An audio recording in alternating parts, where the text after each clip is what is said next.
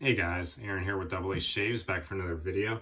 It's been a little bit. Uh, I went on vacation recently and forgot all my shave gear, so I got about 10 days growth here. Um, definitely off my normal routine. I When I'm home, I like to shave every day or every other day, and uh, so yeah, this is a little different. Um, but uh, I am excited to mow it down today. Going to be using my Parker 26C with the open comb design yeah, just a really neat looking razor there. Um, it's got a nice heavy handle. Uh, this is my first razor that has a really heavy handle and I've come to learn that this is definitely like now up my alley because I feel like the weight of the handle, it applies a lot of the pressure for you. Just, you know, just is a really a, a joy to shave with and uh, it's just awesome. Um, yeah, I got a couple more razors in the way, one of which has like a really heavy handle. So really excited to try those out in, in the near future. Um, yeah, really been enjoying the open comb design. It's got a little bit of a learning curve, uh, you know, because sometimes when you're when you're going over on your face, like it'll, I guess some of the soap, the comb doesn't pick up all the soap, so you have like some residual, you know, soap in your face, and it's hard to tell if you shave there, but you know, uh, it's fun to try it out and get better at it. So yeah, really happy to um, you know, I think I think this is gonna do a good job of mowing down the hair today. Um, new blade i am gonna be using. I've actually had these for a while in my den, but yeah, these are Sharks, um, Sharks Super Stainless. Got these a while back in a sampler pack, and you know, I guess the shave I I had it, I used them with, it didn't really work out, and I just threw them to the side, and I was like, oh, they suck. They're not good blades, but you know what? Um, maybe, you know, maybe they'll redeem themselves today. You know, I, they've been sitting there. I kind of felt bad, so want to put them to good use. Um, and, you know, I'm feeling pretty good about it. I think uh, now that my technique's better, I think um, we might see some good stuff from these. Uh, yeah, these, these, are made in uh, Alexandria, Egypt. Yeah, Egypt. I don't know if you guys have ever used these shark blades, but um, yeah, I don't know, kind of a cool package there. And I think, uh, yeah, I think stainless blades do a pretty good job. So I'm excited to see how these this shave goes today with these sharks here. Uh, so for today, Atomic Pumpkin, man, I mean, just first of all, like, look at that label. It's so cool. You know, Doug always kills it with the labels over here at PAA. Um, yeah, he's kind of holding a little slant razor there, and there's some fish here. Just, his labels are always insane, and Yeah, I really, really like this one a lot. Um, the old Atomic Pumpkin label was cool too. It had like the same kind of guy, but I think he was flying through space.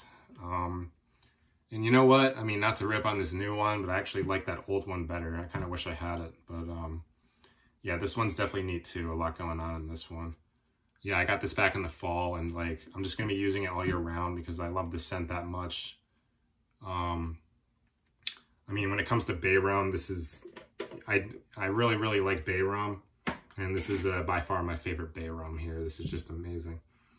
Yeah, this is in the CK6 formula. So you get five ounces of soap there. Really, really nice pour there. I scooped out a lot for, because I'm a bowl out there, so I scooped out a lot there. Yeah, and then this is, uh, then this is an example of CK1. So this is four ounces. And the texture of the soap is a little bit harder, you know, a little bit, takes a little more time to apply in the bowl because it's sort of a different texture. Um, yeah, CK6 is more of like, it's kind of cool because when you're applying it in the bowl with your finger, it's it's more like a butter. So it kind of melts with your body heat and it's really easy to apply in the bowl and it's just awesome. Um, man, the scent of this, so yeah, bay rum, so here's an example of a normal bay rum. This is Sterling's take. And this is classic, like, this is just cinnamon, clove, nutmeg, orange, and bay. You know, which is like, that's just classic bay rum. And then Atomic Pumpkin, there's a lot more going on in this one. So these, the same notes are in Atomic Pumpkin, except clove. Uh, PAA doesn't put any clove in their bay rum. Um, yeah, Atomic Pumpkin's got a lot more going on. It's got the cinnamon, clove, nutmeg, orange, and bay, like the Sterling Classic version. But uh, Doug added in pumpkin, allspice, ginger, and elemi resin. I might not be pronouncing that correct, but yeah, I think that's sort of smell, that's sort of like frankincense. It's like a tree resin, like a, the sap of a tree. And I think it's kind of supposed to smell like lemon. Um, but man, I mean, the addition of the pumpkin notes in this one, you know, it's like a pumpkin bay rum and man, it just, it works so well. Like the pumpkin notes, the allspice and the pumpkin, it's, it is, it's the perfect addition to the notes in classic bay rum. And man, this is one of the greatest scents that Phoenix Artisan Accoutrements has ever released. It's just amazing. You know, and it's perfect. Good crowd pleaser. Not too gourmandish like a lot of people would think.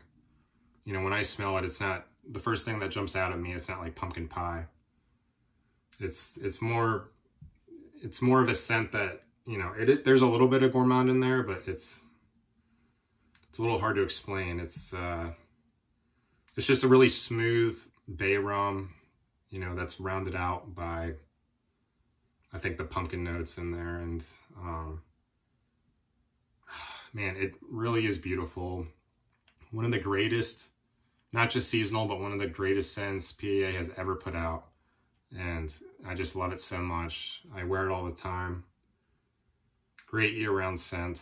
Um, yeah, I'm and this is a unique one too. I mean, I don't, no artisan has ever done a scent like Atomic Pumpkin before, so I'm really, really happy to be using that one today. Oh, and I, I do have the matching splash here. Went down a little bit there. Um, yeah, just really, really awesome. Um, oh, yeah, and I did recently find out, I got an email from Phoenix. I found out that he's discontinuing a lot of, uh, what is he discontinuing? I got it right here. Uh, First Night Black Bot, Big Shave East, Big Shave Southwest 2020, Strange Island, The Wow Signal, and Obolite. I could be pronouncing that Obolite one wrong, but yeah, it's kind of a shame. Um, yeah, Big Shave East is one of my favorite scents that he does. It's just a beautiful apricot tobacco scent. Um, yes, I'm really bummed about that. So before the 30th, when he discontinues them, I'm going to probably pick up um, yeah, this is the shampoo puck. I'm probably going to pick up the the soap and aftershave of Big Shave East. Yeah, and then I do have Strange Island here, which he's also discontinuing, and kind of a bummer because this one is good. It's like um, it's like a lavender sage thing. It's like a really crisp, really fresh lavender. Yeah, I love it. Yeah, it's kind of a bummer uh, it didn't sell well, but um, you know, it's just the nature of the business. He's got a big catalog and he's to make room for more. So, yeah. Oh, well. All right. Got my soap lathered up nice here in the bowl, my black ship grooming bowl. Using my big brush today. Really nice lather there too. I might have overhydrated this time, but I, you know, I tend to do that and it usually works out. Feels good on my face, so we'll go with it. Got my big guy. Got the Yaqi synthetic here, the barber pole handle. Got another brush in the way, so I'm excited to be using that pretty soon too. But yeah, this one, been loving this one lately. So let's go ahead and mow it down here. All right.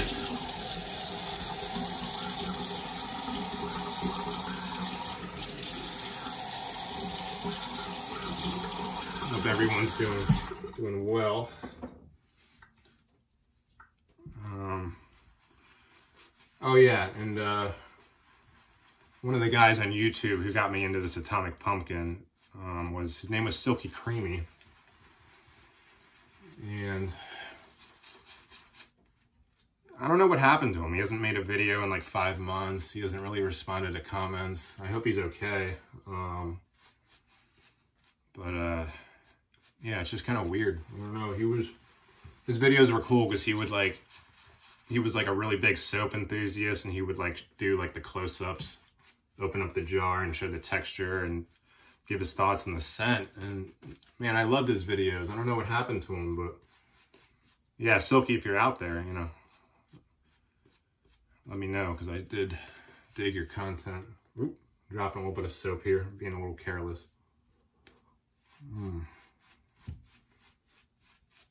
Yeah, CK6 always gives like a nice, nice lather. Um, I have a lot in CK6 and CK1. Uh, I don't really give too much thought anymore on which one I get. You know, CK6 is, I think, $10 more. Um, and for a good reason. It performs better, easier, easier to lather up. You get another ounce of soap. Um, but a lot of times lately, too, with my recent Phoenix purchases, I just, you know, if I'm just into the scent, I'll probably go for CK1. Um, you know, because I both bases perform well, so I don't really care anymore. Um, but yeah, CK6 is a good deal. You know, you get an extra extra ounce of soap, better performing soap.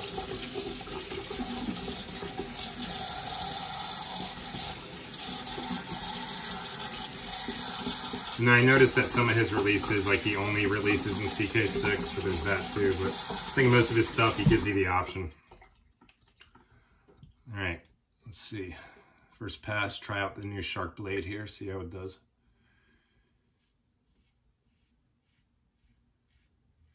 Yeah, I got a blade sampler pack on the way. Um,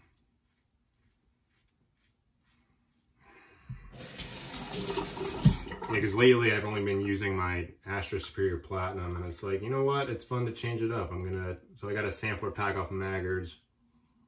Uh, yeah, what's in there? Treet. I think they're made in, Treet are made in Pakistan, I think. I got some Derby in there. Uh, got some Gillette Silver Blue. Yeah, just a lot of blades I've been wanting to try lately. Uh, All right, yeah, so far this uh,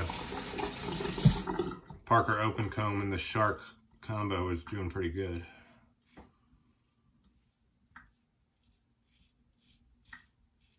Don't want to jinx or anything, but yeah, I mean, for 10 days growth, it's already mowing it down pretty well, so. And then the neck is always the real test.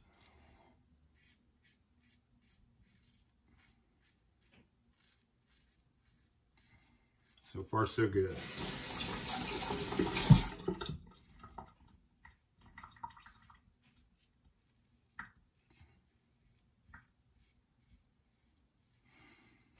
Yeah, I've just been seeing a lot of videos lately where people are, are using, like every shave, they use a different blade. And I'm like, you know what, that sounds kind of fun.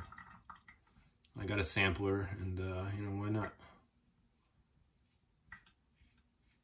fun to compare them. You know, I got a couple razors on the way, so I was like, why not? While I'm on Maggard's, I'll pick up uh, blade sampler packs. Maybe I'll find a new favorite. Yeah, current favorite is the Astra, so. Um,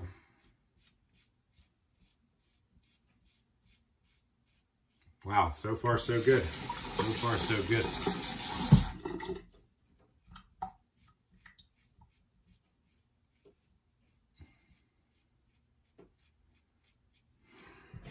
Yeah, I think I'm just gonna go do with the grain and against the grain today so I don't take up too much time.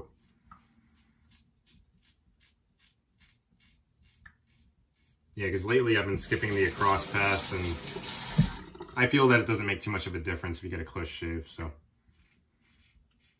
Or I mean, you get a, you get a close shave if you do the across pass or not, I feel like, so. Nice audible feedback here too. All right. I would say good first pass here. Nick free, It's always good, especially when you have a lot of growth. So yeah, again, I really dig this, uh, the weight of the handle here. It just does a lot of the work for you and it's just really pleasant. Um, yeah, like I said earlier, I got another really uh, heavy handle coming in from Maggard's. I, I forget what it's called. I don't have it in front of me, but it's like, man, it's like the width is like that. It's huge. I got an aggressive head to go along with it. And uh,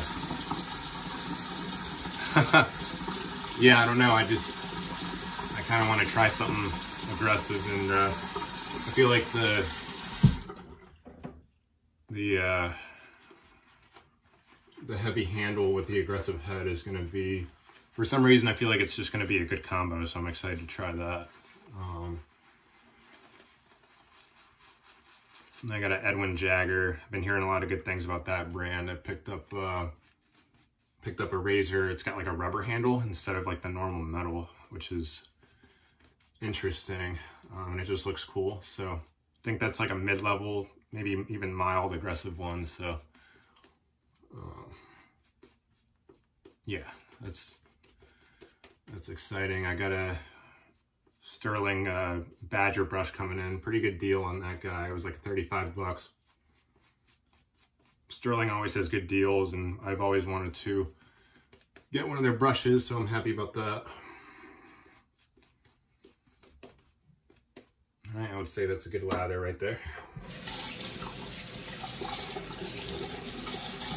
And then I got a sampler pack from a soap brand I've been wanting to try is uh, Southern Witchcraft. They're, they make vegan soaps. And there's a lot of great vegan soaps out there. I mean, Phoenix is a great vegan one.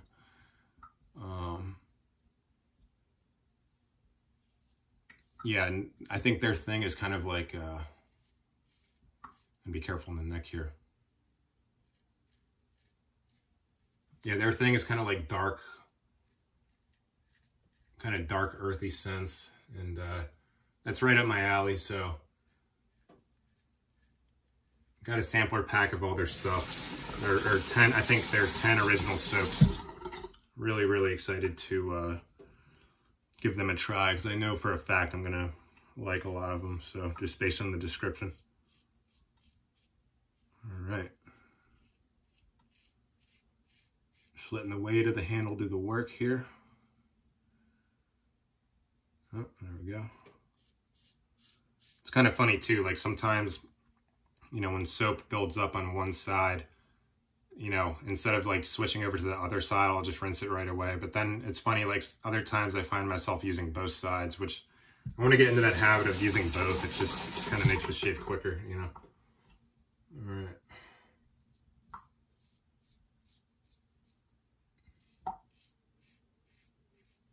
Yeah, and Doug over at PAA, I mean, he's he's like the king of bay rum. Um,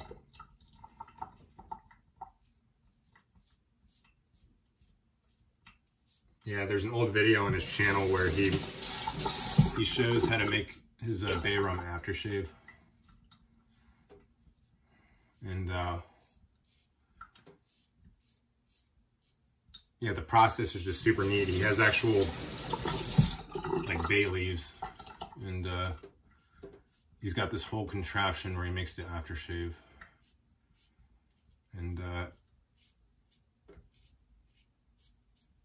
Yeah, you know, I've smelled a, a couple other bay rums, and he, man, his are just are easily the best. Like he's got, he's got one called Boomtown where he like it's like a bay rum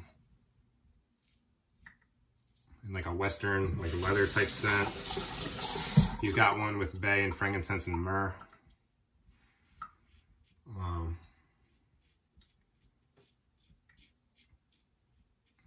yeah, just really, really really into his bay rum since.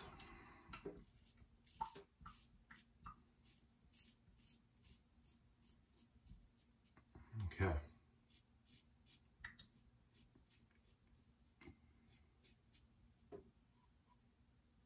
All right, let's see how we did here. See how we did, see if I missed anything.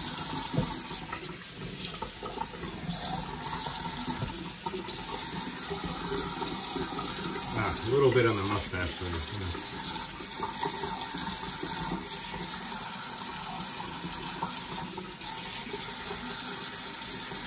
A little bit on the sideburns. All right, looking good.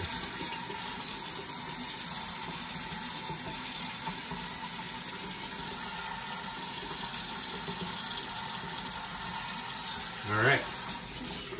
Great shape today. Great shave feel on CK6. Shark Blade did a good job.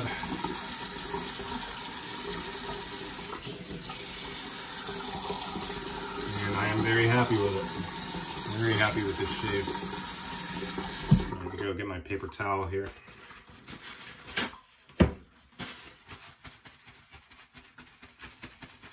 All right. Yeah, it's funny, like with a lot of these products, you use them once and it's like, you just assume they're bad because you get a bad shave with them. But I mean, who knows? You could have just been having a bad day and the shave didn't work out. But yeah, I'm glad I picked up this shark blade again because it did good. So it's like now I'm into shark again. And it's just funny how that works sometimes with shaving products. So huh. after shave. All right, here we go. Atomic Pumpkin. Yeah, and I'm, I'm happy I still have a lot of this because this is a fall seasonal. So, wow, I put that cap on tight. Oh my God, I hope I can get this open. There we go. It smells pretty identical to the soap. Yeah, it's just, it's the craziest thing. Like there's a little bit of gourmand, but it's uh, like not a gourmand at the same time. It's just like, then you just added in like the spices you would put like when you're making pumpkin pie, but it's not, it's not like a too much of a sugary thing going on. Oh, yeah, e easily my favorite bay rum on the market. It's just, it's so beautiful. So, so, so beautiful. Great year-round scent. Great. All right, well, very happy with that shave today. The Parker and the Shark and the Atomic Pumpkin.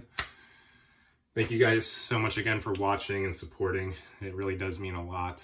And um, yeah, I got a lot of good stuff coming, so I'm excited to start shaving again on a regular basis. So yeah, you guys have a good weekend, and I hope you all, yeah, hope you guys are doing well. And uh, thanks for your support. It means a lot. Take care.